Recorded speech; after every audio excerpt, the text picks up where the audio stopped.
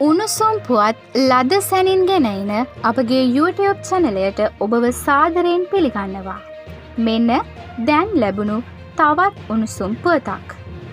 දෙදහස් විසි දෙක වසරේදී තම ප්‍රදේශයේ පිහිටි සියලුම වෙළඳ සැල්වලින් කසල බදු අයකිරීමට පියවරගෙන ඇති බව නෝවුඩ් ප්‍රාදේශය සභාවේ සභහපති රවී කුලන්දවේල් මහතා පවසයි.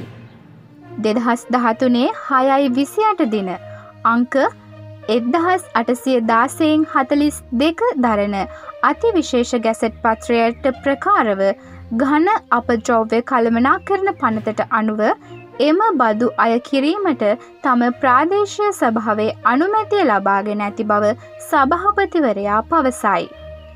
ප්‍රාදේශය සභාවේ කම්කරුවන් විසින් ගහන අප ද්‍රව්‍ය සහ කැලි කසල ඉවත් කරනු ලැබූවද ඇතැම් ව්‍යාපාරිකයන් ඉතා සූක්ෂම ලෙස වෙළඳ සැල්වල බැහැර කරනු ලබන ගහන අපද්‍රව්‍ය සහ කැලි කසල පරිසරයට මුදාහරි.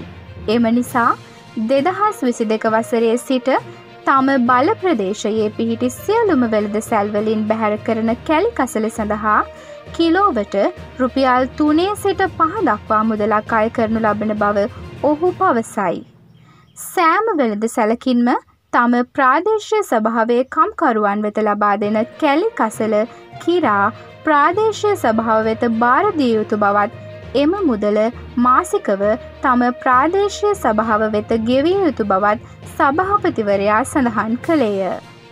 උණුසුම් පුවත් ලද සැනින් දැනගැනීම සඳහා අපගේ YouTube චනලය සබස්ක්‍රයිබ් කර සීනුව බොත්තම ක්‍රියාත්මක කරන්න.